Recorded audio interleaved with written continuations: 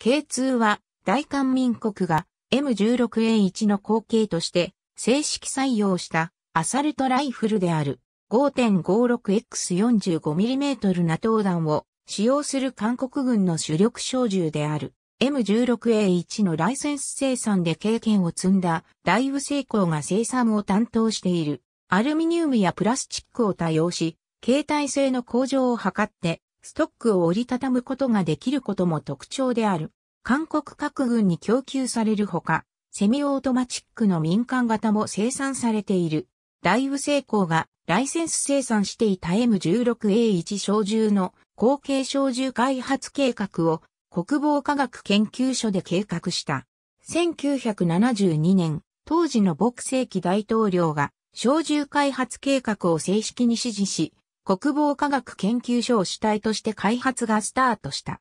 1977年から試作銃である XB-1 から XB-6 までの6種の試験用小銃が設計、開発された。検討の結果、XB-6 に若干の改良を加え、K2 として正式採用された。生産は開発にも関わった大部成功が担当し、M16 の生産ラインや設備が一部流用されている。1兆あたりの単価もライセンス料が発生していた M16 よりは安価だとされる。生産は1984年から開始され、主に戦闘部隊等に優先的に配備された。1990年代には後方の部隊を除いた大部分の部隊に配備が完了している。K2 を構える韓国海兵隊兵士、グレネードランチャーを装着した K2 特徴は、全体的なデザインを M16A1 から借用し、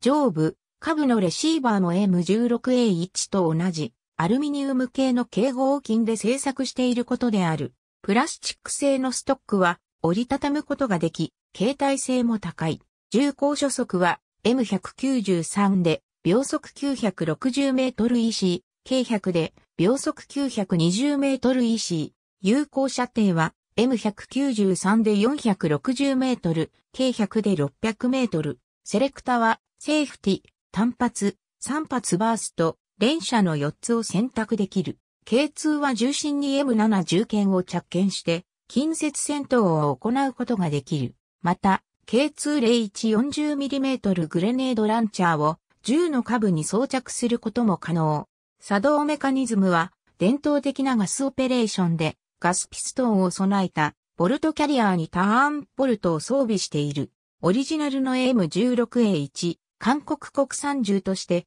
先発の K1 と K2 との最大の違いは M16A1 や K1 のリュングマン式に対し K2 はピストンを使用するガス圧利用式にした点である。これにより M16 の弱点とされていた信頼性や整備性が改善されている。またコッキングハンドルはボルトキャリアーに直接取り付けられている。M16 と同様に5.56マムネイト弾を使用する韓国軍での正式名称は K100。マガジンは M16 のものがそのまま使用できる。民間向けとして K2 をベースとした MAX-2、AR-100、DR-200、DR-300 などのモデルが存在する。作動は半自動射撃のみで DR-300 は AK-47 用弾薬である7.62、39mm 弾を使用する。アメリカの M4 カービンに対応するカービン銃として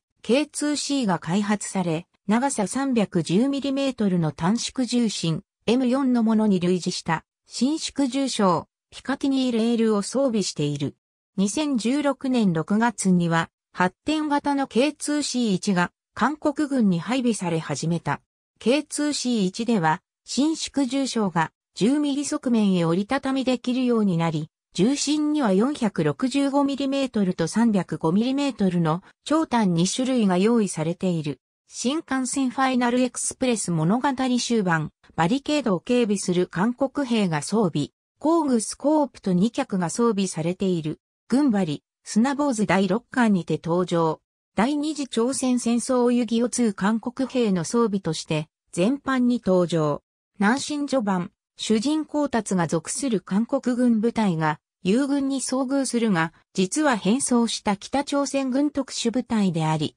直後に銃撃を受け交代してしまう。主人公たちはこの友軍を不審に思っていたが、それは、K2 配備前の主力小銃 M16 を所持していたからである。テイクダウン初期武器として登場。ドールズフロントライン星号戦術人形として登場。 Bangladesh Military Forces、Bangladesh Navy Special Warfare、Diving Salvage。2010年1月14日閲覧。